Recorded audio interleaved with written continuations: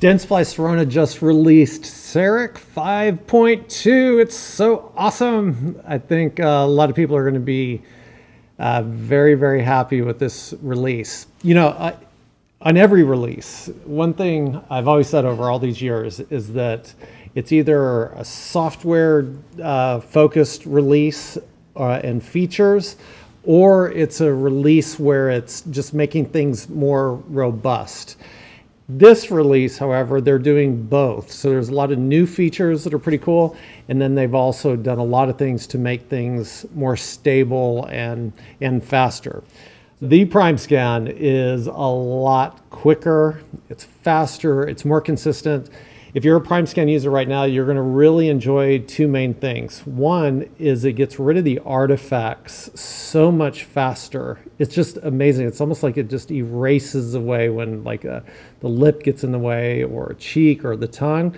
It just it'll spoil you. The other thing that it does extremely well, and you know this, so on any shiny surface, and I'm not talking even metal or anything like that, just a shiny, wet enamel, let's say used to kind of get a little bit of a spike and you have to image it more and more and dry it out and it would kind of take care of it. Now it just is not there anymore. The, the models are a lot cleaner and you know, we're way past the days of uh, not being able to image metal. The Prime Scan can do that extremely well. So those are the main things with the Prime Scan. They've really pumped up the volume, so to speak, with the Prime Scan. The software in general is much more stable. Uh, I know some people have had some issues with crashes and things like that, but uh, what you're going to find and feel as you're using it that it just seems a little bit more seamless. It has an automatic uh, saving feature now. So in prior years of CEREC, it would save when you got up to a certain point, and then once you got past that point, then you would save it again another point. Now it's based on time. So every now and then you'll see little circle uh, spinning, and it's just because that time elapsed and it's now saving the file, which is really critical. It's a really good thing. It should have some sort of autosave, so they kind of brought that back just in a different way. And you can uh, uh, affect that up in your uh, CEREC window underneath the settings. You can determine how what the intervals of that is. What else? Oh, uh, as far as the software, the automatic margin finder is a lot better. It's not perfect. I don't know if it'll ever be perfect, but you know, in, in prior versions, it would do some of it and then you have to redraw it. Now there are times where I'm not adjusting them at all. I find that it's exactly where it should be. Again, if the margin's very exposed and, and look nice, it's easier for it to find it. Uh, it'll be more in the subgingival areas where it has a little bit harder time uh, finding that margin, but it's much better. You'll like that. Uh, the biogeneric calculations are uh, they're faster. They're they just look better, and it's this artificial intelligence that they're they've thrown into the software on uh, the the prediction of the uh, tooth anatomy is uh, really coming on its own now and really looking really good. So if you're doing a lot of biogeneric restorations, you're going to like these as well. And then the prime mill. You have the prime mill.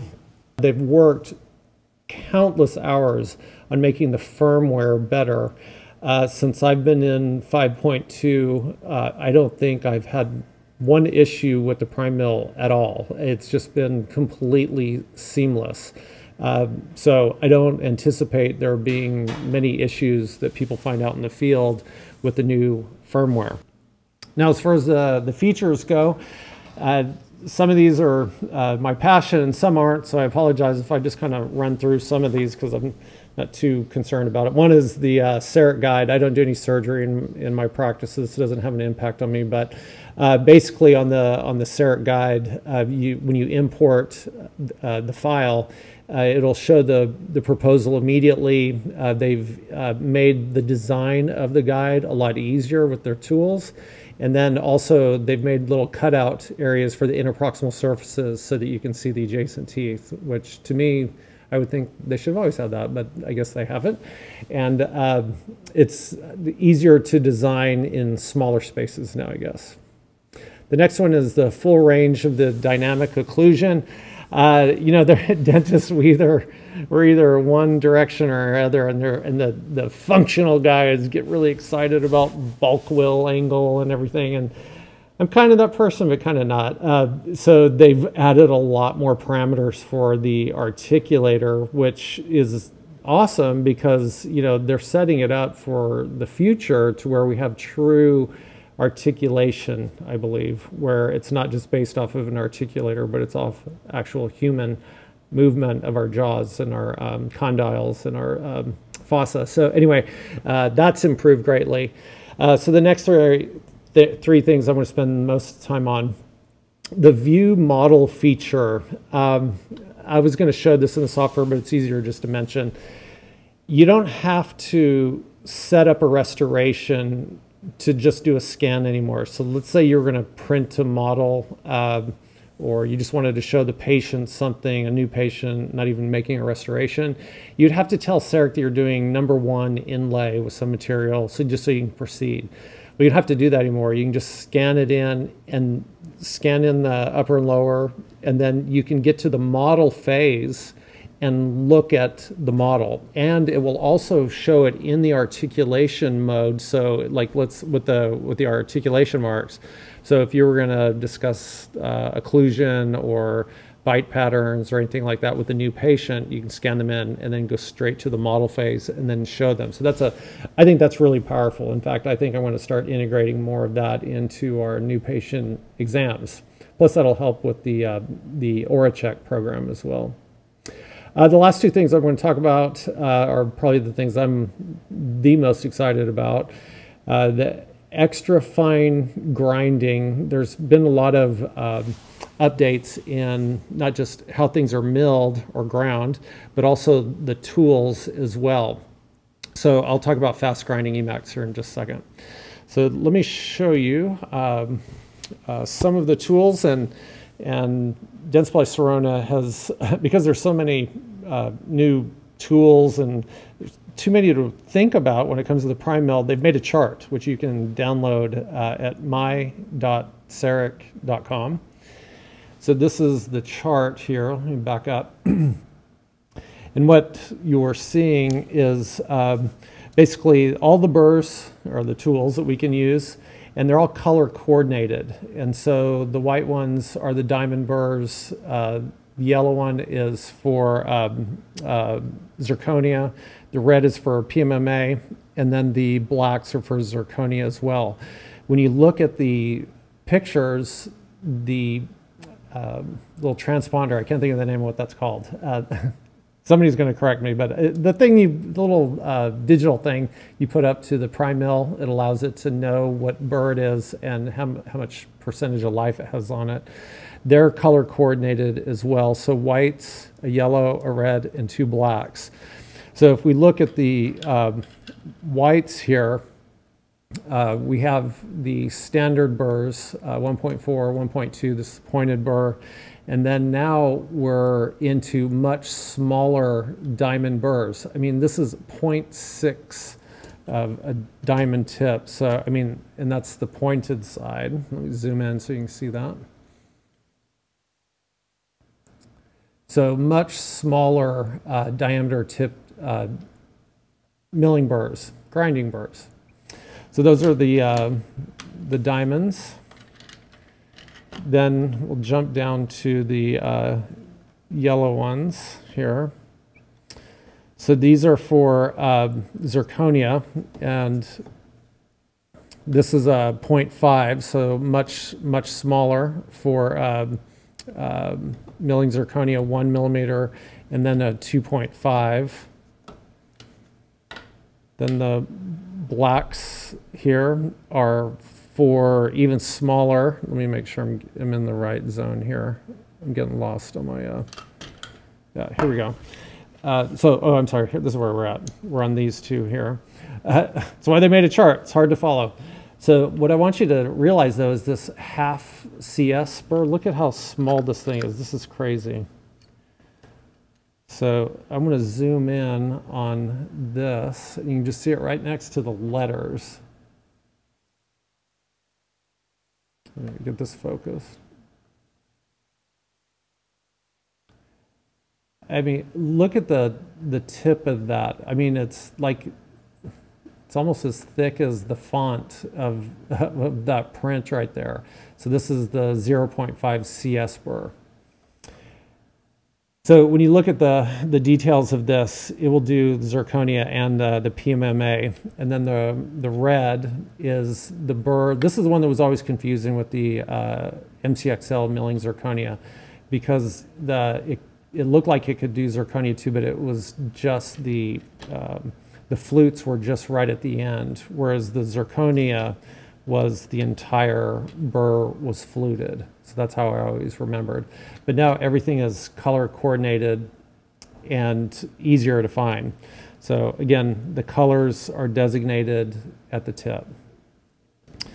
Next thing in this chart is um, the tool uses. So uh, when you're looking on your prime mill, it will give you all these different options. Uh, milling, whether it's zirconia or PMMA, or you're grinding. And then it also adds an extra fine in the grinding mode. And again, these are the colors of the burrs that you're going to use to put in the, uh, the milling unit. So that's uh, the focus of milling right now. And again, we've got almost too many to think about. Uh, there's too much. But uh, the cool thing about when Dentsply Sirona makes their products, they're making products for the needs of multiple dentists. So you can kind of find where your niche is and what you like.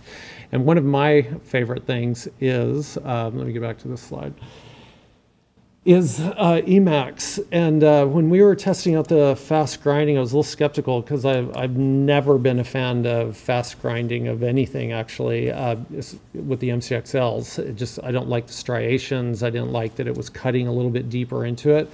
But because the prime mill mills basically kind of more in circles, the strategies of milling uh, apparently is a lot easier to do in our glass ceramics uh, under hard grinding conditions.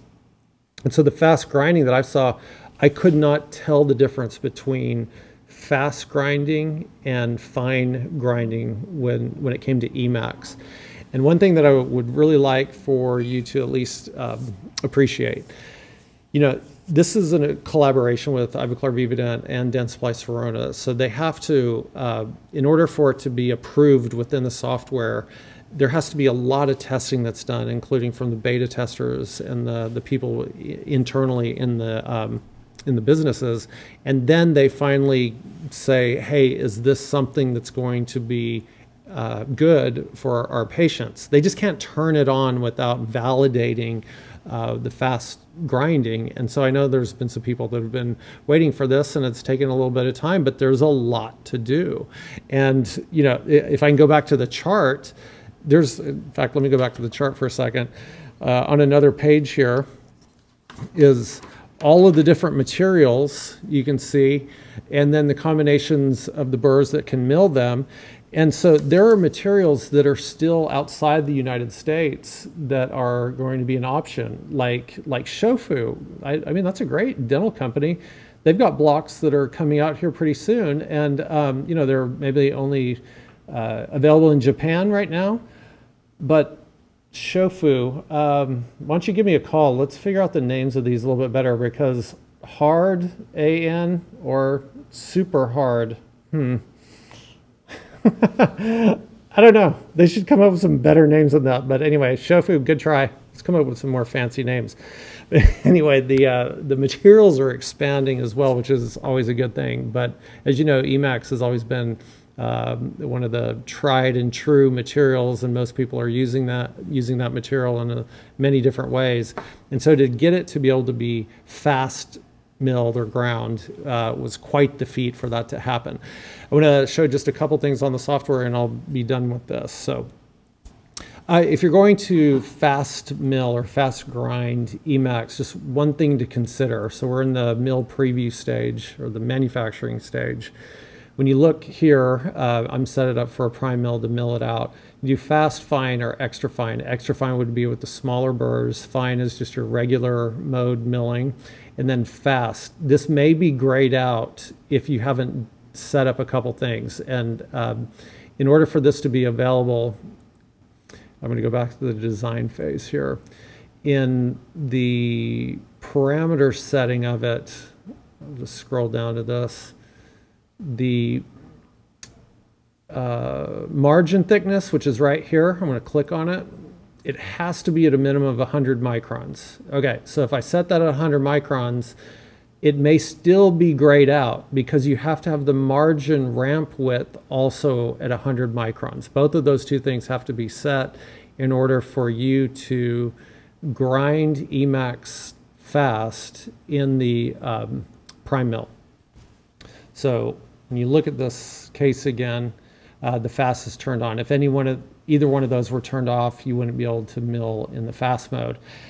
And I'm changing the way I'm thinking about things. I'm starting to think that fast grinding Emax may be one of my ways to go, which I, like I said before, I had never done that in the uh, with the MCXL. So great things happening with CEREC 5.2. Uh, thanks for joining me and check out Digital Enamel TV.